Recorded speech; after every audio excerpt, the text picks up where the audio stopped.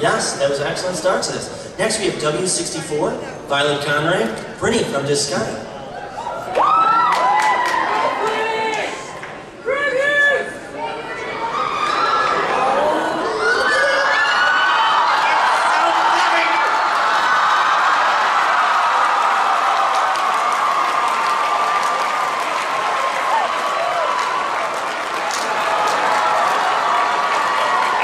I want one. Just, you can't just rent them out. Why? Rentadorable.com.